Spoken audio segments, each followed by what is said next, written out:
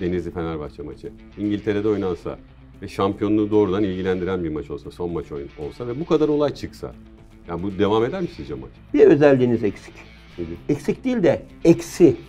Nedir? Fanatik Fenerlisiniz. Kız istemeye gittik. Başkan kızı verecek. Fakat maç var. Fenerbahçe'nin maçı. Fenerbahçe'nin maçı var. Biz başkana böyle bir 20 dakika, 25 dakika Başkanım ne olursun yapma etme falan. O dedi bir şartla dedi ben konuşmam dedi. Sen konuşursun dedi.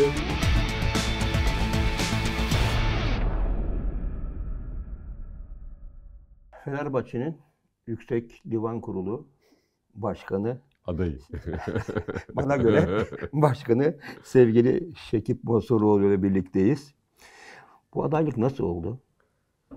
Vallahi yani, e, yani derseniz ki böyle çok bizim e, camiada biliyorsunuz şey moda çocukluk hayalimdi. çocukluk hayalim değildi. Yani çok teveccüh oldu. Çok arayan soran oldu. Ee, Ben de hani açıkçası Fenerbahçe'ye katkıda bulunabileceğimi, bu konuda e, hizmet edebileceğimi düşünüyordum.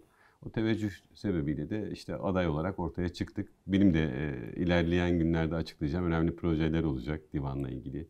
Düşüncelerim olacak. E, siz de biliyorsunuz yani işte divan kurulu aslında kulübün denge ve e, e, istişare organı. Ve bu işletildiği zaman aslında, iyi işletildiği zaman e, yönetimlere çok e, faydalı olabilecek bir e, kurul. Çünkü e, belli bir tecrübenin üzerindeki üyelerden oluşuyor ve o üyelerin tecrübeleri de çok önemli. Mesela sizin gibi e, 40 yılını, 50 yılını e, bu kulübe e, üye olarak geçirmiş insanlar için. Dolayısıyla aslında yani Yüksek Divan Kurulu işletildiği zaman e, kulübün amiral gemisinin en önemli parçalarından biri olabileceğini düşünüyorum ve ben e, amacım da bunu sağlayabilmek. Bildiğim kadarıyla veya takip ettiğim kadarıyla pek sıcak bakmadınız ama bu geçen hafta sonu 3-4 gün önce, daha doğrusu bir hafta önce tahmin ediyorum. Sayın Aziz Başkan'ın ve Fenerbahçe'nin üst düzey bir iki yöneticisiyle birlikte size ikna ettiklerini duydum. Ama ne derece doğru onu siz... Do- doğru yani böyle bir ikna süreci geçti. Çünkü şunun için ben demin de söyledim. Yani ben bu kurulun çok önemli bir kurul olduğunu, bu görevin çok önemli bir görev olduğunu düşünüyorum. Ee, zor bir görev olduğunu düşünüyorum. Ve bunun için de bir mesai harcanması gerektiğini düşünüyorum. Yani bütün e, düşüncelerim bunun üzerinde e, dolaşıyordu. Ama dediğiniz doğru. E, Sayın Aziz Yıldırım olsun, camiadan başka önemli insanlar olsun, işte bizim eski yöneticilerimiz olsun, abilerimiz olsun, divanda işte daha evvel görev yapmış insanlar olsun, sizin gibi büyüklerimiz olsun. Ben de dahil buna. Evet. Ee, tabii artık o kadar teveccüh olunca da insan görevden kaçamıyor. Bazen görev istenmiyor, görev veriliyor. Uzun yıllar Türkiye Futbol Federasyonu'nda iki tane başkanla, Haluk Ulusoy'la birlikte çalıştınız. Daha sonra da sizin de yakından tanıdığınız meslektaşınız Levent Bıçakçı ile as başkanlık görevini aldınız ve ondan sonra da Fenerbahçe Başkanı Aziz Yıldırım'la yine uzun bir müddet yöneticilik yaptınız. Bu yıllara gelmeden önce esasında benim de merak ettiğim Türk spor kamuoyunun da merak ettiği bir konu var sizinle ilgili. Mesleğiniz avukatlık. Çok güzel. Ama Kuleli Askeri Lisesi'nden Mezun oldum. mezun olup bir anda İstanbul Üniversitesi Hukuku. Nasıl oluyor bu? Hani bildiğim kadarıyla şeye e, Kuleli Askeri Lisesi'ne girmek çok zor ama çıkmak da çok zor Çok diye zor, evet. biliyorum. Evet. Bu konuda bize bir açıklama yaparsanız çok mutlu edersiniz. Ee, Ben 1980 e, yılında asker liseye girdim. Hatta e, işte darbeden evvel yani çok kısa bir süre önce girmiştim. Yani Türkiye'de özellikle eğitime ilişkin şartların en ağır olduğu, anarşinin çok yaygın olduğu, okullarda sürekli boykotun olduğu yıllardı. E, ailemize de geçmişte işte subay rütbesi, subay rütbesi almış akrabalarımız vardı. Onların da çok teşviki vardı. E, okulda da açıkça yani çalışkan olduğumuz için herhalde buraya itik, iteklendik biraz sınavına. Yani çok bilerek hani böyle bilinçli bir tercih yapmadım. Yani gittiğimde karşılaşacağım işte yatılı hayat mesela ben İstanbul'da oturuyorum. İstanbul'da doğmuş büyümüşüm. Yatılı hayatın nasıl olduğunu bilmiyorum. Ee, başlangıçta zor oldu yani intibak etmem de zor oldu ama orada da çok başarılı bir öğrenciydim Kuleli Asker Lisesi'nde de. Ee, bu İstanbul Üniversitesi Hukuk Fakültesi'nde oradayken girdim. Yani askeri öğrenci kotası vardı. O kotaya giremedim sadece. Ee, aslında devam etmeyi yani, mümkündü, düşünüyordum da. Ee, babamın o sırada rahatsızlığı vardı. Benim devam etmemem gerekiyordu. Yani ailenin de e, bize ihtiyacı vardı. Ciddi bir tazminat ödeyerek, e, babam çok ciddi bir tazminat ödedi. Harp okulundan ayrıldım. E, tazminat öde, ha, ödemeden Yok, ayrılamıyorsun. Çok har- enteresan. harp okulunda eğer yemin ederseniz tazminat da yetmiyor. O zaman bir hapis cezası var. Oo, Tabii çok zordur ayrılmak. Bu pek bilinmiyor spor Evet, evet. kamuoyunda. Evet. İlk defa bize açıklıyorsunuz. evet. Bunda mutlu oldum. Hala arkadaşlarım var, çok arkadaşım var. Ee, muazzaf olan arkadaşlarım var. Yani general rütbesinde olan arkadaşlarım var. Tüm general rütbesinde olan arkadaşım var. Ee, çok şerefli bir meslek. Muhakkak. Ee, ve gerçekten de e, çok e, önemli komutanlar yetiştiren bir okul Kuleli Asker Lisesi. Herkese de nasip olmuyor. Benim de hayatımda e, hem gelişim için hem işte bugün e, sahip olduğum bazı görevlere tayinde hep şey oldu. Çok faydası oldu. Yabancı dil bilgisi vesaire hep orada. Yabancı lisan Evet, İngilizce, İngilizce. İngilizce, Rusça. Rusça. epey üst düzey. Evet, fena değil. Onu da inceledim. Evet, Eski tanışıyoruz ama bazı özelliklerinizi bilmiyordum. fena değil. Şimdi gelelim Fenerbahçe'ye tabii ki. Fenerbahçe'de önce şeyi alacağım burada resimlerde. 13. Ağır Ceza Mahkemesi duruşma salonu bir resim var. Hı hı. Burada başkanın kardeşi Ali Bey var. Bu resmi herhalde. Ali Bey var, İlhan var galiba. İlhan Ekşioğlu var ve İl- İlhan Bey'in avukatı var. Ee, ve ben varım. Muammer a- avukat. Ee, bu Siz de avukatsınız ama burada ben sanığım. sanık evet. Burada sanığım. sanık dediniz de yanılmıyorsam bu kanunu Hı hı. yani o konuda girmeyeceğim ama bu kanunu hazırlayan yani öncelik ve büyük bir zaman süresi içerisinde emek veren iki kişiden birisiniz. Aziz Bey ve siz hukuksal olarak. Hazırladığınız kanunu gelip size çattı. Böyle bir FETÖ yalanı var. Yani bu kanunu biz hiçbir şekilde hazırlamadık. Yani ne Aziz Yıldırım ne ben. Ama bu böyle biliniyor. Böyle biliniyor. İşte dediğim gibi dezenformasyon yani bu FETÖ'nün yaydığı bir şey. Ee, başka o sıralarda biliyorsun Kulüpler Birliği Başkanıydı. Evet. Ee, orada da o dönemde de e, yine böyle sporda şiddetin olduğu, işte sporda bir takım e, uygunsuz e, gelişmelerin olduğu bir dönemdi. E, Devlet Bakanımız ama şu an ismini çıkartamıyorum. e, onun önderliğinde bir araştırma komisyonu kurulmuştu. Başkan da Kulüpler Birliği Başkanı olduğu için o komisyonla biz çalışma yapıyorduk. Yani herkes 6222 diyor. Biz 6222 çıktıktan sonra gördük. Yani Kulüpler Birliği Başkanı yasa çıktıktan sonra resmi gazetede Evet. yayınlandıktan sonra gördük. 6222 ile ilgili olarak yani varsa şu vardır e, arşivde. Yani bir tasarı ol- olarak gelmiştir. O tasarıya kulüpler belki yorum yapmıştır, belki yapmamıştır ki yaptıklarını da zannetmiyorum. Yani kesinlikle yasanın hazırlanmasında ne ben ne Aziz Yıldırım bir şey yok. Yok. Hayret yani demek ki Evet. bazı yanlış bil- bildiklerimizi de burada doğrulamış oluyoruz. Tabii ki bu resmi buraya koyduk. Anılar albüm. Bu albümden bir parça. Bu çok güzel bir anı aslında. Güzel bir anı. O- Bu anıyı sebepleri o anı anlatırsanız mutlu oluruz. Şimdi biliyorsunuz 2011'de 3 Temmuz süreci başladıktan sonra e, Şubat ayında 2012'nin yargılama başladı. Bir yıl sürdü. 2013'ün 3 Temmuz'unda bitti. Pardon 2012'nin 3 Temmuz'unda bitti. Yani hatta Aziz Yıldırım'ın da tahliyesi o gün oldu. Tam 365 gün tutuklu kaldı. Şimdi mesela yine orada kamuoyunun yanlış bildiği bir şey var. E, cezalar alındı. Sonra yine o FETÖ'nün dönem güçlü olduğu dönem Yargıtay kararın büyük bir bölümünü bozdu. Yani FETÖ döneminde bozuldu karar. Çok az bir kısmı e, bozulmadı, onaylandı. Başkanın da içinde bulunduğu kısım. O sırada 2013'te bu 17-25 Aralık oldu. İşte yasada bir takım değişiklikler oldu. Bozma yargılamasına sirayet etti zaten o şey e, yeni yasa Evet. uygulamaları. Diğer tarafta işte anayasal eşitlik kuralı gereğince aynı şeye girdi. Neticede 2013'te bir yargılama süreci yeniden başladı. Yine kamuoyunun çok az bildiği o sürecin sonunda herkes beraat etti aslında. 2018 yılıydı 2018. galiba. Sonra Yargıtay onu bozdu. Dedi ki iki ayrı yargılama yapman lazım. Önce bozulanlarla onaylananları birleştirmiş onu ayırarak yapman lazım. Bu ikinci yargılamada yani ikinci kez beraat ettiğimiz yargılama e, tahmin ediyorum 2021 olması lazım. En önemlisi bence. Tabii tabii ama ikinci kez yani İkinci bir kez. defa ikinci kez. Sonra da 2022'de Yargıtay onadı ve süreç tamamlanmış oldu. Aziz Bey bir sene yattı, siz 8 ay mı? Ben 8 ay evet. Aile konularına daha sonra gireceğim. Tamam. Ama bu 8 ayda özgürlüğün ne olduğunu anladınız mı? Yani çünkü sahiden filmlerde izliyoruz ama o filmlerde izlenmiş gibi olmuyor. Doğru. Yaşam yaşananlar. O günlerden özgürlüğün kıymetini bize böyle hissettiklerinizi biraz fazla değil biraz anlatsanız zaten biz anlarız. Ya, tabii ki özgürlük, aile, onlar önemli şeyler. Ee, benim kızım 6 yaşındaydı o dönemde.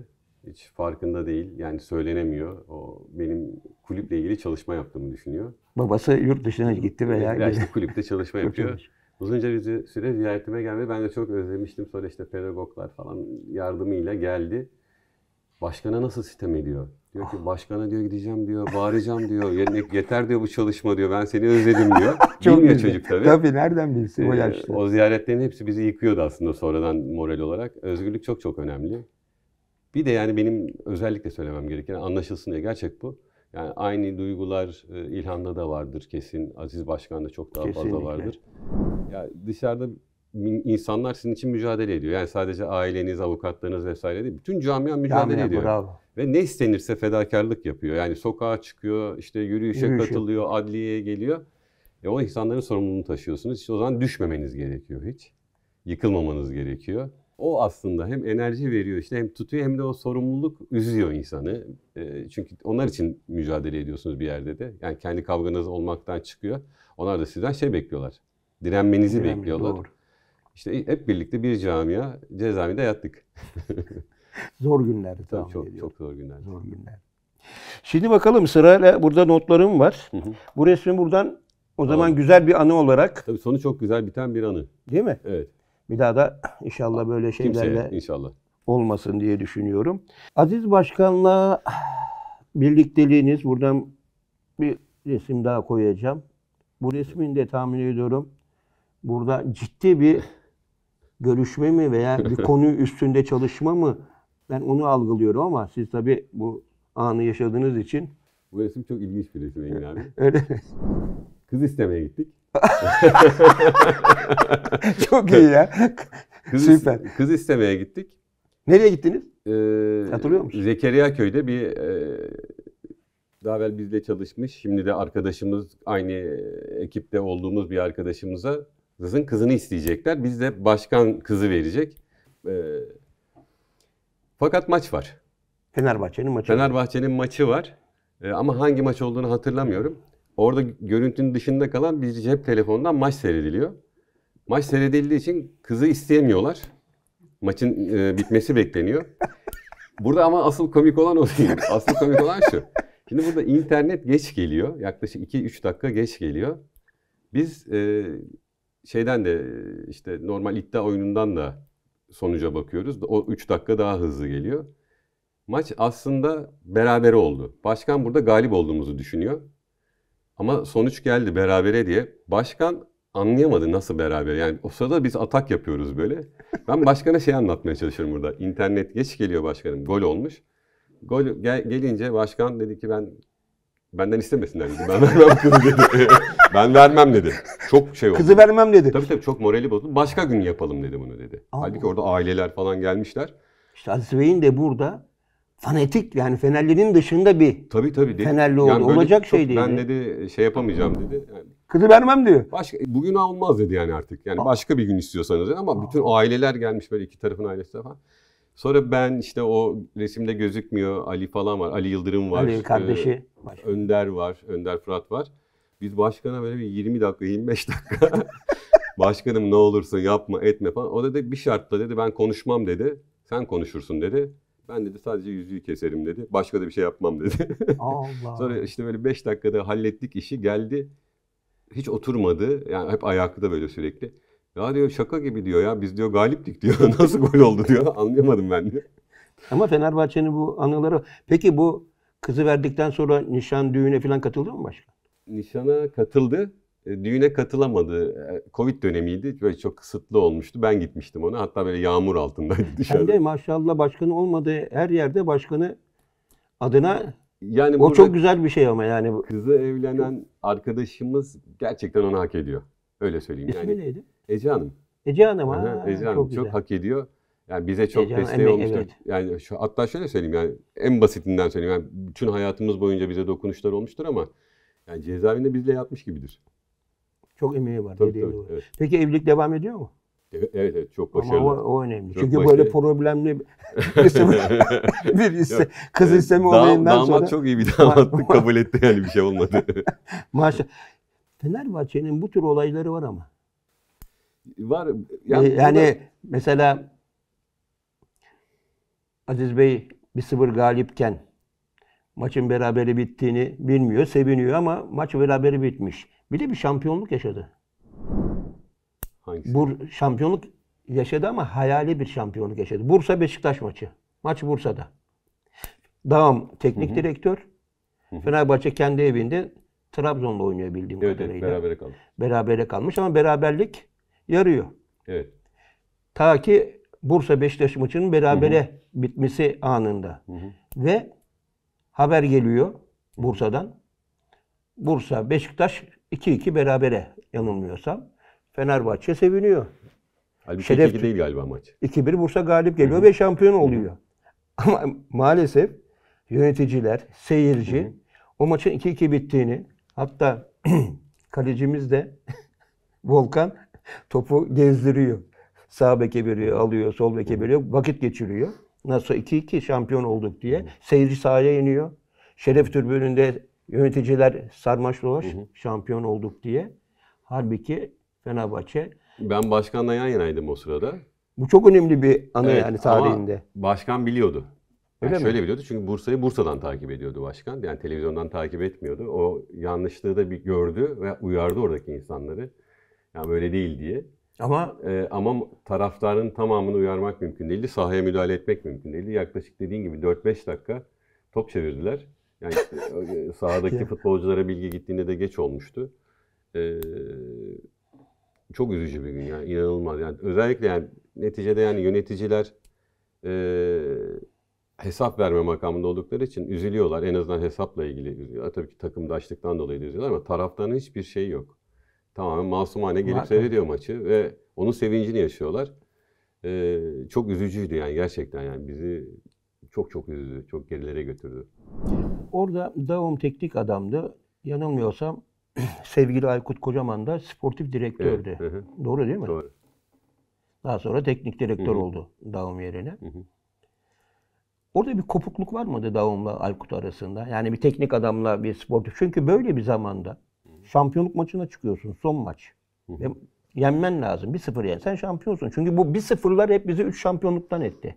Denizli hatırlarsan ki ben de Evet, oradaydım. ben de oradaydım. Trabzon beraberliği ve Galatasaray beraberliği. Bu üç maçta yenemediğimiz için şampiyonluğu, üç şampiyonluğu kaybettik. Burada bir kopukluk oluyor mu? Teknik adam veya yönetim veya başkan yani Yani Engin abi şey ayırt etmek lazım. O işte bunu eleştiri olarak Yok, yok, sormuyorum. Yaşayan Bursa'nın insan olarak soruyorum. sezonda ya biz Trabzon oynadığımız maçta yani herhalde futbol tarihinde bu kadar gol pozisyonuna girilip de Aynen. kaçırıldığı bir başka bir dönem olmamıştır.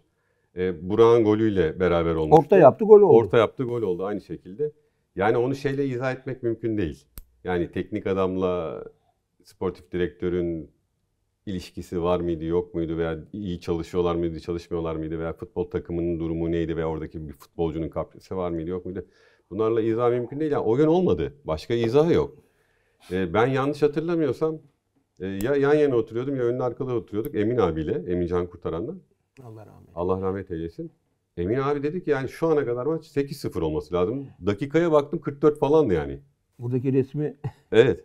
Yani inanıl, inanılmaz gollerin kaçtığı maç. Mesela Denizli'de de şampiyonluğu kaybettik ama ilk yarı hiç pozisyonsuz geçmişti o maç. sen Hatırlarsan. orada mıydın? Oradaydım. Ben yöneticiydim o zaman. İlk yöneticiliğim hatta. İlk yöneticiydi. Evet. Hiç pozisyona giremedik. Ama orada biraz Orada Anelka'nın oyuna geç girişi, ilk, ilk yarı hiç oynamaması. orada hatırlarsan kaç dakika geç başladı maç? 10 küsur. Maç saatinde başladı galiba da Yok. durdu. Bence geç Maç- başladı galiba. Bence de durdu. Durdu mu? Durdu. Toplamda 27 dakikaya yakın bir durdu. Çünkü o maçın özelliği bildiğin gibi Konfeti maçı işte. Denizli Spor da küme düşmeye oynuyor. Biz de şampiyonluğa oynuyoruz. Fenerbahçe şampiyonluğa oynuyor. Evet. Ama oradaki duraklamanın sebebi Denizli spor seyircisi. Yani Fenerbahçe seyircisi değil. Ya şunu söyleyeyim Engin abi. Sen de futbolun içinden geliyorsun. Bu kadar işte sahada mücadele etmişsin. Yani bunu en iyi anlayabilecek ve anlatacak İstemiyor, kişi sensin. istemedi o gün. O da var ama. Bak şimdi biz bunu mesela ben federasyonda görevliyken UEFA toplantılarında falan çok konuşulurdu. FIFA toplantılarında çok konuşulurdu. Şimdi iki tip e, hakemlik anlayışı var. Bir tanesi bitirmek üzerine hakemlik anlayışı. Yani ne olursa olsun, hangi saha olayı olursa olsun sen maçı bitir. Ve hangi doğa olayı olursa sen maçı bitir. Trabzon maçını mı örnek? O şey maçı da öyle, Denizli maçı Denizli da maçı. öyle. Bunu şimdi anlatırken Trabzon oradan maçı da geçeceğim. oraya Den- tamam. Denizli maçı zaten bunun ilk örneği bence. Doğru. Bir de var korumacı hakem. Yani korumacı hakem ne? Yeşil alan orada görev alan futbolcuların mahrem alanı. Yani onlar orada çok güvende hissetmeleri lazım kendilerini. Bakın hissetmeleri, güvende olmaları değil. Hissetmeleri. Hissetmeleri. Çünkü his de kaybolursa güvenlik olmaz. Yani sahada hiçbir sorun yoktur ama dışarıda bir sorun vardır. Futbolcu onu hisseder. O his de olmayacak. Yani mesela düşünün dışarıda çatışma oluyor. Bunlar kapıyı zorluyorlar ama içeri giremiyorlar henüz. E Şimdi futbolcu sahada güvende ama güvende hissetmiyor kendini.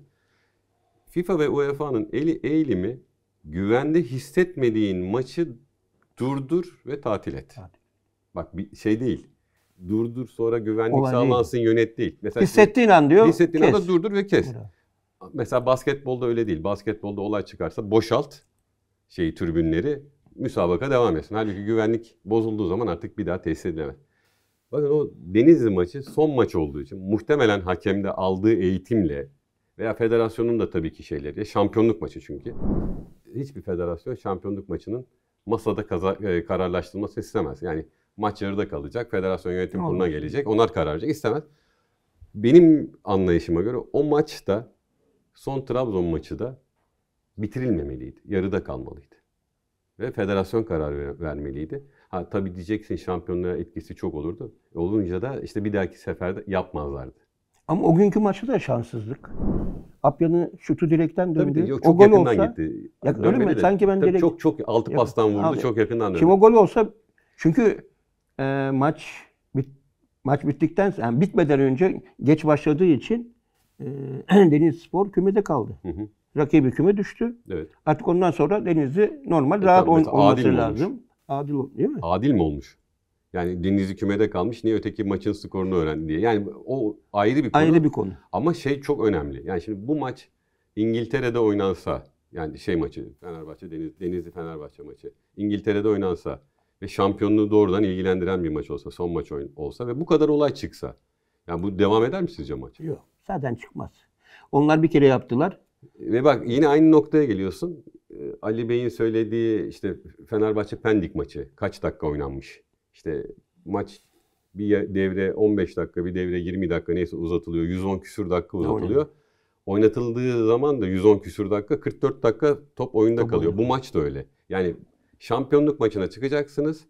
90 dakikalık maçta veya uzatmalarla 100 dakikalık maçta top 40 dakika sahada kalacak ve oradan diyeceksiniz ki bu çok sağlıklı bir maç. Bu o maçlardan bir Bir tanesi. tanesi. Enteresan ama. Biz böyle üç tane şampiyonluk kaybettik.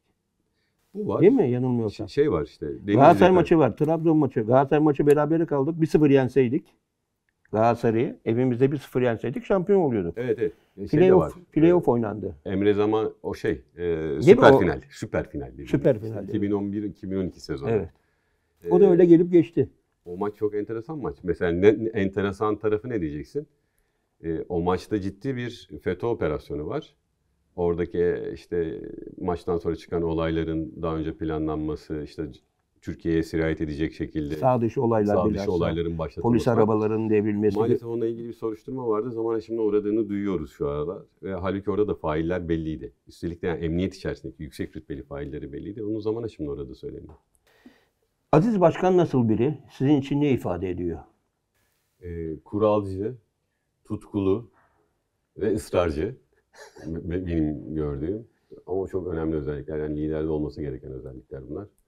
Kuralcı, yani şöyle hep kuralları var. Kurallar gelişiyor ama hiçbir şekilde taviz verilmiyor. Tutkulu, Fenerbahçe tutkusu var. İnanılmaz bir tutku bu.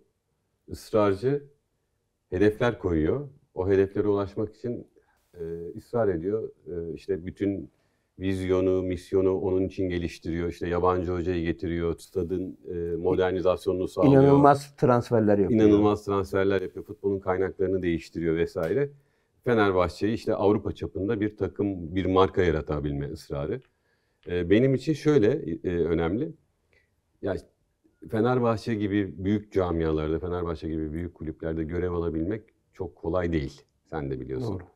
Ee, benim hani tek avantajım var. Ben hani mektepliyim. Federasyonda e, bu Uzun işin yıllar. uzun yıllar görev yaptım. Hukuk kurumunda özellikle.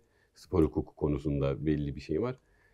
Ee, başkan gerçekten hani böyle bir ekip kurarken e, çok sınıyor muhtemelen. Kesinlikle. Ee, bana e, yöneticilik teklif ettiğinde hiç düşünmeden kabul etmiştim. Şunun için kabul etmiştim. Çünkü çok böyle şey bir insan. Başarıyı anlatabilecek, tarif edebilecek ve size e, liderlik edip rehberlik edebilecek bir şey. Ben ondan çok şey öğrendim. bir de meraklı. Evet evet. Çok meraklı. Bir de benim analizlerimde şöyle bir düşünüyorum Aziz Başkan hakkında. İlk söylenen kişiye inanıyor. Yok Mesela bir konu hakkında yok. öyle söylenir Şöyle. yakınları. Yani ilk söyleyen ama İlk söyleneni dinler ve anlatır. Dinler ve anlatır. Yani söylendiğini de anlatır. Ama arada çok muhakeme eder. Ve danışmadan şey yapmaz. İlk söylediğini yapmaz.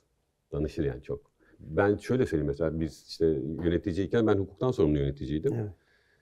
Ben yani hukuki bir konuda bir görüş bildirdikten sonra kesinlikle mesela ısrar olmazdı. Yani şu olurdu hani alternatiflerini sorardı. Ee, karşılaşacağımız riskleri sorardı ama ne dersek o olurdu. bana göre en iyi transferi yapmış. Sizi yönetimi almakla. Onun sayesinde ben de tabii çok geliştim. Şimdi bu güzel bir resim var burada. Bir hı. şampiyonluk kutlaması. Bir şampiyonluk kutlaması. Burada Engin abi bu 100. yıl şampiyonluğu herhalde o formanın üzerindeki şeyden Değil mi? onu anlıyorum. Ee, 100. yıldaki logomuz, kullandığımız logomuz. Bizim ilk şampiyon, yani benim ilk şampiyonluğum. Ee, çok şanslısın. çok- İlk şampiyonluğun ve 100. 100. yıl şampiyonluğu. şampiyonluğu. Evet. Yani Türkiye Cumhuriyeti'nin. Zaten yani başkan yönetimi aldığında beni eee, şöyle söyleyerek çok kolay ikna etti beni. Dedi ki kimseye nasip olmaz dedi. Yani bu jenerasyondan kimseye nasip olmaz. Çok da iyi takım kurulmuştu orada. Tümerler falan var galiba gördüğüm kadarıyla. Eee 100. yıl şampiyonluğumuz. Tümer var evet. Ben en baştayım. Eee, Üst köşede evet, solda. eee, bayağı perişan olmuş vaziyetteyim. Eee, yanımda Tuncay var, Serhat var, Nihat Özbağ, Vedat abi rahmetli. Vedat Ahmetli. Nihat abi, e, benim önümde Murat Özaydınlı, Ömer Ömer Temelli, Temelli var. E, Ercan var. Onun yanında e, Fenerbahçe Koleji'nin evet şimdi şey yaptık, çuvalladık. olsun. Bazen Onun yanında da. Semih gözüküyor. Evet. Şimdi Turan şa- Şahin, Turan, abi Turan orada, Şahin'i. Turan abi. Şimdi Atlet eski. evet. Şampiyonluk güzel bir şey. Evet. İlk senenizde 100. yıl şampiyonluğu. Çok iyi bir kadro. Bakıyorum da Kejman var orada galiba. Alex, Semih. E, iyi bir kadro. Bir de burada güzel bir resim yakaladık. Burada güzel bir hanımefendi var. Çok güzel çocuklar var. Hı hı. Bu güzel çocuklarından bir tanesi tahmin ediyorum sizin Kızım. kızınız hangisi? En sağ baştaki. Şu altta. Alttaki. Hı hı. O zaman herhalde ufaktı. Şimdi kaç yaşında? O zaman kaç yaşındaydı? Ee, o zaman 8 yaşındaydı. 2014 o. Ee, Şimdi maşallah. Şimdi 18 yaşını bitirdi. Maşallah. Benim yanımdaki de eşim. Eşiniz Şimdi hanımefendi. aslında şöyle bir anısı var bunun da.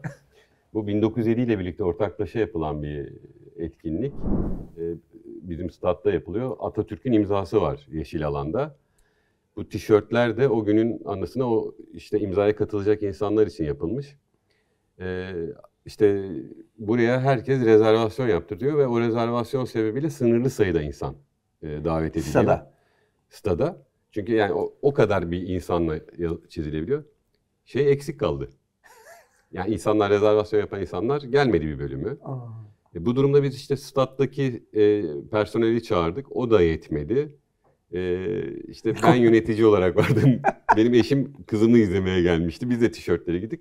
O resmin çok büyük şeyinde, daha büyük e, perspektifinde Ali Bey de vardır, Ali Koç da vardır. O da çocuklarıyla Ali Koç birlikte. idareciydi galiba o zaman. ama Değildi. Değil miydi? 2014 bu. 2014. he. Ee, ben de şöyle söyleyeyim işte 2012'nin şeyinden çıkmışız biz de. Yani daha o cezaevi sürecini falan atlatmaya çalışıyoruz. Ee, ondan kurtulma, e, havadan çıkma için çok güzel bir şeydi ve çok başarılı oldu aslında. Ee, çocuklar için de çok başarılı oldu. Çok Güzel bir an. Unutulmaz bir an evet. Güzel. Eşiniz avukat mı? E, Eşim avukat evet. Nasıl tanıştınız? Fakültede. Fakültede. Kıskanç sınıf. mıdır? Efendim? Kıskanç mıdır? Yani aşık kıskanç değildir. Her kadın kadar kıskançtır. Senin eşin kadardır. Hayır şimdi Yani benim de bildiğim şeyler var Engin abi. Konuşturma beni. fazla girmeyelim bu konulara diyorsun. Zararlı çıkarsın. Öyle diyorlar biliyor musun? ya şimdi burada fotoğraflarını görüyorum da kıskanılmayacak bir anlamda değil. Çok doğru. Şimdi gelelim bakıyoruz aileden sonra enteresan bir resim. Sahiden evet. bazı resimleri böyle bulabildik. Çünkü hem geçmişteki bu resimler çok değerli. Burada eski federasyon başkanı Levent Bıçakçı var. Avukat meslektaşınız. Rahmetli Hasan Doğan var. Burada Levent Bıçakçı'ya geçmiş olsun diyoruz. Ee, Hasan Doğan zaten Rahmetli. Rahmetli Allah rahmet oldu. eylesin. Burada iki tane federasyon başkanı yanında siz varsınız da acaba diyorum ben.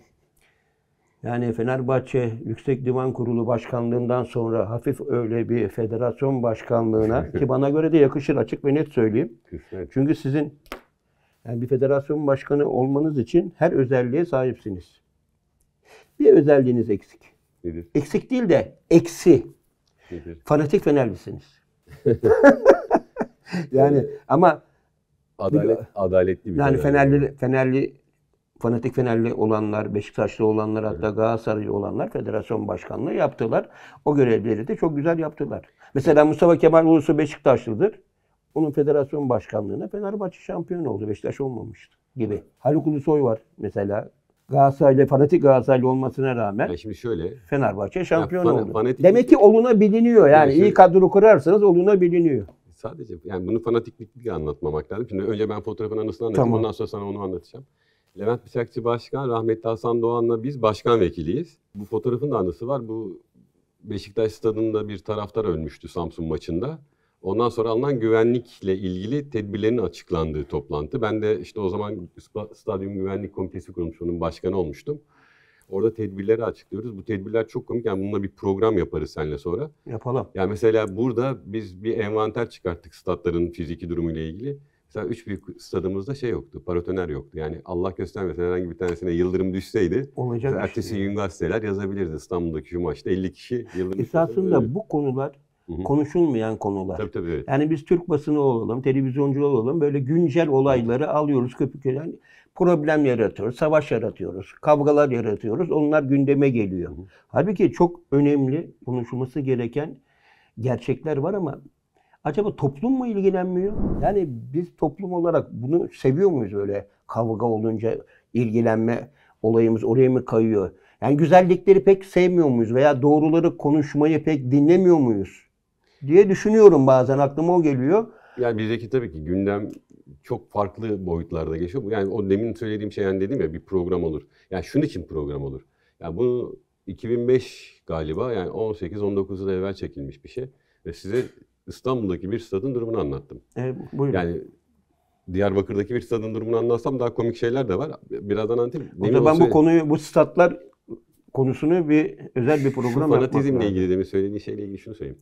Yani ben Futbol Federasyonu'nda görev yapan hiçbir Fenerbahçeli geçmişi olan futbolcunun veya işte teknik adamın veya bir eski yöneticinin fanatizmle suçlandığını veya suçlanabileceğini zannetmem. Ama ama şuna geleceğiz. Ama dediğim mi nokta nokta Yani onu burası çok bekliyorum. önemli bence.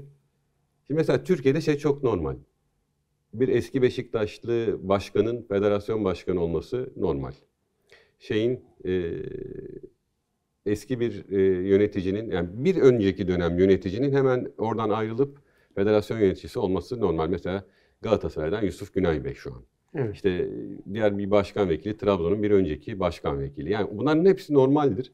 Ama Fenerbahçe'den biri e, orada görev alırsa kulüp bağlantısı kesilmemiştir. Yani kamuoyuna böyle. Halbuki e, bunu daha önce gördük. Galatasaray hep o- hep böyle federasyondayken Galatasaray yönetimine girdi ki Tabii tabii hep böyle oldu. Tam tersi de olduğunda yani diyelim ki bir Galatasaraylı, Trabzonlu, Beşiktaşlı başka kulüp taraftarı federasyona girerse o kulüple bağını kesmiş kabul edilir. Ama bir Fenerbahçeli federasyona girerse o takımdaşlığını orada sürdürüyor kabul edilir. Çünkü medya bunu satın alır. Veya medya bunu verir, kamuoyu bunu satın alır.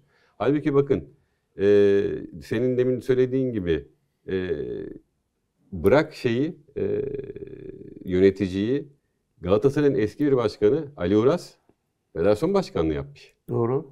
Ve ta, ya o dönemde Galatasaray'ın en sıkıntılı dönemler yaşadığı dönemlermiş. Ve onları kurtarmış yani o durum düzelmiş Doğru. başka bir boyuta.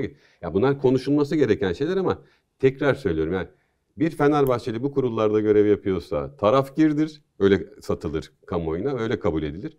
Yani şimdi mesela hani insan kendi yaptığını anlatır anlatmaz. O benim senin söylediğim stadyumla ilgili. Ya birisi herhangi birisi bu programı seyreden federasyonun internet sitesine girsin. Stadyum güvenlik talimatı diye açsın. Baksın son değişiklik ne zaman yapılmış. Ben söyleyeyim 2005 yılında. Yani bizim yaptığımız talimat. O günden bugüne Yani- yapılmamış. yani- ama mesela onu yapanın kıymeti yok şu an. Mesela e, sen hatırlıyorsundur herhalde. Herhalde. Peki sorayım numaralı koltuk dönemine ne zaman geçildi Türkiye'de? Yani bütün stadın her koltuğunun numaralandırılması. Koltuk yoktu ki eskiden. Ayakta seyrederdi. Ayakta 2005 seyrederdi. yılı. Yani çok eski değil. Akreditasyon sistemi yok. 2005 Yok. yılı. Ya demin hani Diyarbakır'la ilgili bir örnek verdim ya. Stat ismi vermeyeceğim, şehir ismi de vermeyeceğim. Bu güvenlik komitesi çalışıyor ama bir statta sürekli seyirci ayakta oturmuyor. Oraya da şey yolluyoruz biz. Müfettiş yolluyoruz. Müfettiş gidiyor bakıyor. Federasyon olarak. Tabii tabii. Ne var ne yok falan diye. Adam rapor yazmış. Raporu okusan Engin abi gözünden yaş gelir. Tribünün içinden sulama kanalı geçiyor.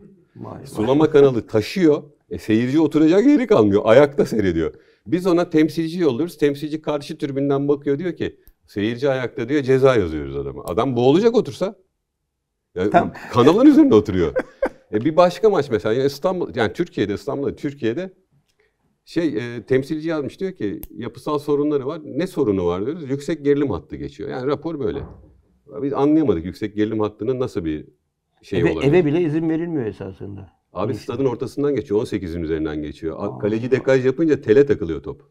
Ve bu lig maçı oynanıyor bu statta. İnanılmaz Ya şey. 2005 yılına kadar oynanmış ya. Yani bu, bu- hani bunları anlatsak var ya insanlar şu anki durumu çok şey O zaman yani o yıllarda sahiden futbol çok cahil mi diyeyim veya sorumsuz mu diyeyim. Ya çok belirli- geri abi zaten. Yani çok geri Yani kalmışız. Tabii tabii. Yani çok geri bak, kalmışız. Bir kulübe soruyorsun. İstanbul kulüplerinden bir tane soruyorsun. Saha içinde kaç görevli var? Bilmiyorum diyor adam. Ya maç oynarken kaç görevli? Sonra diyorsun ki bütün kulüplere saha içinde kaç görevli olmalı? Mesela bir kulüp diyor ki 1000 tane. Bir tanesi diyor ki 500 tane. Öteki diyor ki 750 tane. Bunlar ne aslında biliyor musun? Bedavaya maç seyreden görevliler. Sonra ne oluyor? Sen İngiltere'den bir model alıyorsun, getiriyorsun. 40 kişi saha içinde görevli. Ya sende 1000 kişi var görevli. Ama Burada bir tane Beşiktaş Sakarya maçı oldu. Güvenlik görevlisi futbolcuyu dövdü. Çünkü güvenlik görevlisi değil. ya bunun gibi ko- olaylar işte. Çok Yani, komedi. E, ama komik ama acı. Bugün ne fark var? Şimdi enteresan nereden nereye? Askeri okulda okudunuz bir eğitim aldınız. Yani bu demin anlattıklarınızla paralel güvenlik görevlisi. Askeriyede bir olay vardır. Cephe komutan emrederse cepheden geri Hı hı. değil mi bırakırsınız? Yoksa kafanıza göre cepheden çıkamazsınız. Tabii Emre'ye itaatsizlik. Trabzon maçına dikkat ettim. Muhakkak sen de dikkat etmişsindir. Bir kişi sahaya giriyor. Maskeli boksör havasında. Normalde tribün boydan boya 90-100 metrelik, 110 metrelik tribünden iki kişi gelse görevli o adamı tutabilir. Ama dikkat ettim oradaki görevlilerin hepsi yelekli görevlilerin hepsi o adamın peşine geldi. Yani görevli olduğu yerleri bıraktılar, cepheyi bıraktılar. Bıraktıkları için de Trabzon seyircisi girdi. Belki bırakmasaydılar belki o seyirci giremeyecekti veya çekinecekti. Bu da enteresan değil mi sizce? Şimdi ben o maçı seyrederken işte eski görevim gibi düşünerek seyrettim. Normalde stadın içerisindeki güvenliği özel güvenlikler sağlıyor. Yani Evet. polis sağlamıyor. Özel güvenlik sağlıyor. Polis ancak işte türbindeki olaya vesaireye müdahale Yani türbine girerek müdahale ediyor. Sahaya polis girmiyor. Yani temel prensip bu. Şimdi maçın son dakikalarına doğru bizim yayında gördüğümüz türbinin iki kanadındaki tünellerde polis vardı. Ve şeylilerdi, yeleklilerdi. Şimdi normal şartlarda maç 60 dakika böyle kötü şartlarda oynanmış. 3-2 ve son dakikalarda gol etmiş. O polislerin şeye çıkması lazımdı. Pistin üzerine çıkıp sıralanması lazımdı. Onların gelişi engellemesi lazımdı. Yani sahaya Yapmadı. girişi. Eğer sahaya müdahale oluyorsa da güvenlik gelip alacaktı onu. Onlar geç girdiler. Müdahale çok geç oldu. Ya başka bir şey Bu söyleyeyim. bilinçli mi? Diyemeyiz, Yani bilemeyiz. Devlet araştıracak, bulacak Evet. ama yani orada bir zafiyet olduğu kesin. Yani adam türbünden çıkacak 25-30 metreye gelecek. Orada Fenerbahçe'nin kendi güvenlikleri müdahale etmese futbolcuyla teke tek kavga edecekler. Tabii. Yani, e, orada uygulama yani, yani inanılmaz yani rezalet. Ben başka bir yayında söyledim. İnsan üzülüyor bunlara işte. Şimdi mesela biz Avrupa Şampiyonası'nı, Dünya Kupası'nı Türkiye'ye almak için uğraşıyoruz 2030'lu yıllar için. E, ve tek başına organize ede- edebileceğimiz organizasyonlar için. Ve Trabzon bir şey orada. Ev sahibi şehir. Ve bütün sunumlarda biz işte şunu sunarız. Kuzeydeki en e, futbol aşkı olan, ateşi olan şehirdir. İşte o Karadeniz'e kıyısı olan ve turnuvaya katılacak e, ülkelerinde çok kolay erişimine e, müsaittir. Hep ev sahibi şehirlerden bir tanesidir. Ya bundan sonra nasıl mesela savunulacak Trabzon böyle futbol sever bir e, şehir olarak? Yani en basit maçta olan şey bu. Yani en Yani basit bu- değil ama yani bu kadar olacak bir şey. Şimdi UEFA, FIFA sen federasyona Ya çıkart görevliyken bu konuları çok iyi E, biliyorsun. tabii çıkart diyecekler. Hem yani. olarak biliyorsun hem de görevli olarak biliyorsun. Şimdi Türk futbol adına bunlar hoş bir şeyler değil. Avrupa'ya gidiyoruz. Avrupa Şampiyonası'na gideceğiz. En son milli maçta yine olaylar oldu ufak tefek. Hı hı. Futbolcular kavga ettiler. Evet. Yani Ya futbolcunun kavga etmesi futbolun doğasında var. tamam Sahada da kavga etmeleri. ha, o onları bağlıyor. Tabii yani. Ama bu hoş değil yani. Yani 6-1'den sonra neyin kavgasını yapıyorsun? Yani bir futbol kültürü mü? İnanmışlar abi. Kazanacaklar 6 birden sonra. ne diyeyim abi? Ya profesyonel Yani mi? bunları yani diyorlar ya eğitim eğitim. Biz de mesela 1974'te Trabzon birinci çıktığı zaman Fenerbahçe ile ilk maçında Fenerbahçeli futbolcular hoş geldin Trabzonspor diye pankartla çıktı. 70. Evet gördüm ben. Sosyal medyada 74'te. gördüm. Evet. Yani Fenerbahçe'nin öyle ev sahipliği de var. Hatta hatta Trabzon'da Fenerbahçe Spor Kulübü de var. Amatör olarak, isim olarak. Ve diyaloglarımız bizim hep iyidir. Hep iyiydi. Ma- Maç iyi de bir kadrosu vardı. Maçlardan sonra oradan uçak bazen kalkardı bazen kalkmazdı. Trabzon çünkü havanı sisli bir alan. Buradan giderken de bazen sis oldu diye uçak gitmez aile otobüse beraber giderdik. Sabah saat 6'da 7'de Trabzon'a inerdik. O zaman maçlar 1'de 2'de oynanıyor.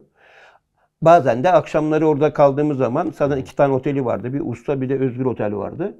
E Trabzonlu seyirci yaşam biçimi olduğu için bizi uyutmazsa davul zurna çalarlardı sabaha kadar. Biz de uyumadan maça çıkardık.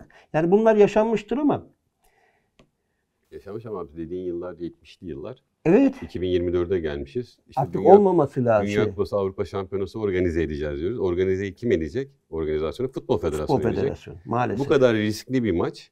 Alınan güvenlik tedbiri bu. Ve neticede olay yaşanıyor. Ve müsabaka hakemi son uzatma saniyesine kadar müsabakayı e, oynatıyor. Yani hiç kesinti olmuyor müsabakada. Ve sahayı da ilk o terk ediyor. Yani olaylarla hiç haberi bile yok, Yok. hakemin. Ya Ben- seç- hakemin seçimi bile yanlış. Daha evvel. Ank- Ankara gücü maçında Yumruk sahada yumruk yemiş bir hakemi sen böyle yüksek riskli bir maça yolluyorsun. Yani normalde hakemin orada kalması lazım. Saha olaylarına müşahit olması lazım. hukuk adamı olarak yani federasyonda as başkanlık, Fenerbahçe'de as başkanlık olarak değil, hukuk adamı olarak, spor hukuku çok iyi bildiğin için soruyorum. Neden bu son yıllarda sahalarımızda başkanlar, yöneticiler, futbolcular hep bir olay yaratıyor, bir olaylar yaşanıyor bu ülkede? Bunu anlamak mümkün değil. Eskiden böyle bir şeyler yoktu, saydan yoktu. Tartışma vardı ama bu kadar saygısızlık, birbirine karşı konuşma yanlışlığı, hakaretler ve camiaların birbirine düşmanca bakış açısı bunlar son yıllarda oldu. Ben bunları sportif olarak görmüyorum açık söyleyeyim. Yani Halbuki bana göre çok güzel bir resim vardı. Burada bulamadım şimdi. Aziz Bey, Adnan Polat. Evet. hı hı. O resim bulamadım burada. Ee, karıştı herhalde. Mesela onu da size kısaca sorabilirim. Yani Galatasaray Başkanı ile Fenerbahçe Başkanı siz de o resimdesiniz ve birlikte yürüyorsunuz. Muhakkak o bir toplantı sonrası veya toplantıya giderken. Böyle güzel birliktelikler, çıkarlar için birliktelikler olurken şimdi yani bilmiyorum futbol Ya iki temel sebebi var bence Engin abi. Ya başka çoğaltılabilir ama iki ana sebep bu bence. Bir tanesi herkes kendi adaletini sağlamanın peşinde. Çünkü adalet sağlayacak federasyon görevini yapmıyor. Ee, yaptığı noktada da tutarsızlıklar var. Yani A'ya başka, B'ye başka, C'ye başka kararlar çıkıyor. İnsanlar da kendi adaletini sağlamaya çalışıyorlar. Çünkü adalet mekanizmasına güvenmiyorlar. Ee, bu işte Futbol Federasyonu'nun seçilme şekli, son yıllardaki seçilme şekli, başkanların geliş şekli, kurulların oluşturulması, kurullardaki insanların liyakati vesaire her şeyi katabilirsiniz. Ki bence mesela buna ilave olarak şunu da katabilirsiniz. Profesyonel kadrolarda da çok değişiyor Futbol Federasyonu'nda. Bir kurumsal zihin, akıl yok. Yani sürekli bir sirkülasyon personel içerisinde. Halbuki futbol hep böyle yönetimi özellikle e, profesyonel yönetimi tecrübe çok gerektirir önemli. Bravo. tecrübe ve hafıza gerektirir kurumsal hafıza. Birincisi o. İkincisi de yine benim gördüğüm şey e, cezalar uygulanmıyor. Yani işte sahaya giriyor bir kulübün başkanı e, adam kovalıyor. İşte lütfen dört maç ceza alıyor, üçe iniyor, o bire iniyor falan yani neyse. E, baktığınızda insan da diyor ki buradan adalet çıkmaz. Temel sebepleri bence bu. Ha, bakın mesela geçmişte Mesela Levent Bıçakçı döneminde bu tip olaylar çok azalmıştı. Bu komitenin çok e, şey olmuştu, faydası olmuştu. Çünkü fair play'i ödüllendiren bir ödül mekanizması vardı. E, Hasan Doğan zamanı çok başarılı olmuştu. Başarılı. Çünkü e, Hasan abi böyle çok e, sert, toleransı olmayan, kimseyi kayırmayan e, bir kişilik, bir, bir yapıydı. E tabii yani biraz da e, başkanlarla ilgili bir şey. Yani o yönetenlerle ilgili. O senin söylediğin fotoğraf çok önemli bir fotoğraf. Şey, e, o bir yayınla ilgili bir süreç. Yayın kriterlerinin yani pa- paylaşım e, süreçlerinin. Maddesel bir Evet evet maddi bir şey.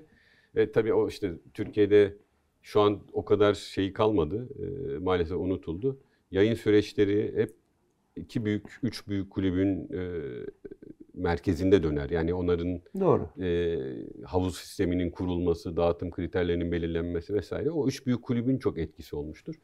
O onlardan e, onlara ilişkin bir fotoğraftı. E, maalesef şu an öyle birlikteliklerin yaşanması ihtimal bile değil.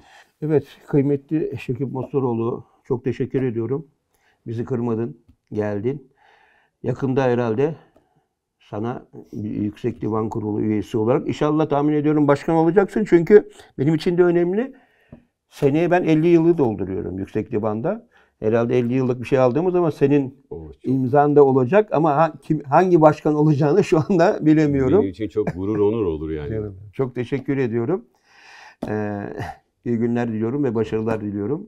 Tekrar görüşmek üzere. Çok teşekkür ederim. Bir dahaki yayınlarımızda muhakkak söylediğin konuları, stat konularını veya e, federasyon konularını masaya yatıralım. Konuşulmayanları konuşmak istiyorum. Çünkü herkes güncel konuşuyor ama esas gerçek konuları konuşmuyorlar. Geldiğin için tekrar teşekkür ederim. Ben teşekkür ederim.